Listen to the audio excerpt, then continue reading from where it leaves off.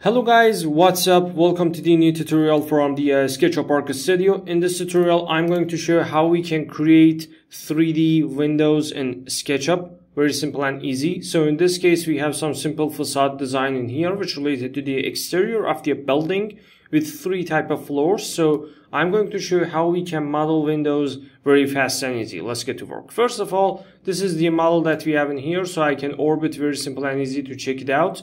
I only want to show how we can model windows. So I'm going to click on it, select these surfaces like that and click on the delete in here. So I need to press Ctrl A, select all of it, convert it to the group again.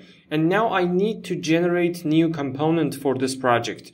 So I prefer to use rectangle in here and I can draw some rectangle from here to here. I'm going to click on it, convert it to the make component or you can use G shortcut on your keyboard. So I'm going to click on the move option, take some copies in different places. You can do it one by one because it's not too much and you can do it very fast and easy. So I need to take these copies very simple like that. If you don't know how to take copy, you need to select your object, click on the move option, press Ctrl on your keyboard, copy activated for you, select this endpoint and take your copies. Very simple and easy. So I need to continue this job to cover all the window areas in here. And now I have some unique element and component about the windows. So another time I'm going to right click on this total model, click on the edit group in here and now I'm going to click on the uh, this window in here right click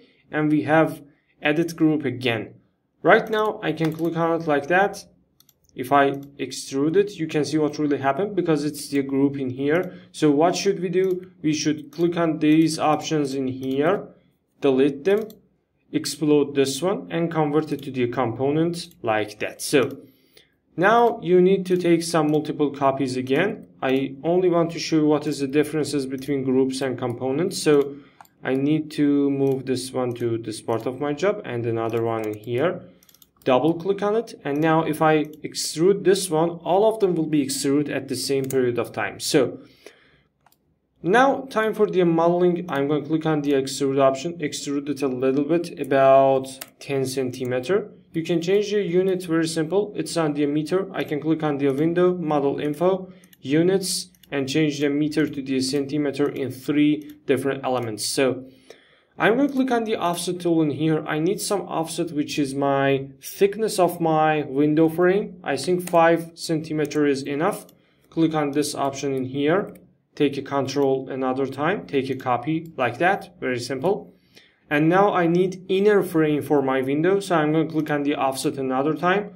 Draw my inner window thickness like that. Click on the add delete option in here.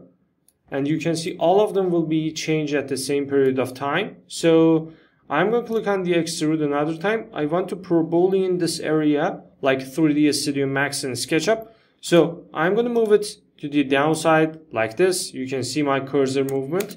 So I'm going to click on the extrude, move my cursor on the selected face, left click and push it through or backward. I'm going to push it to the backward. So select this frame in here, two centimeter for this one. Now everything is fine.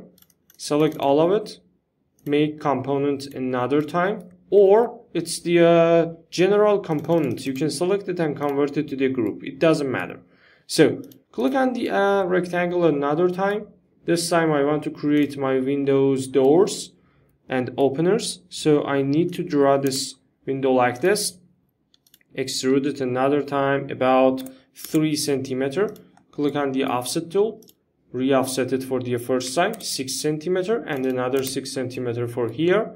And now I want to do bevel in SketchUp. So click on this face in here, click on the move, but this time press Alt on your keyboard. So now you can bevel it to the backside and delete this surface. Very simple and easy.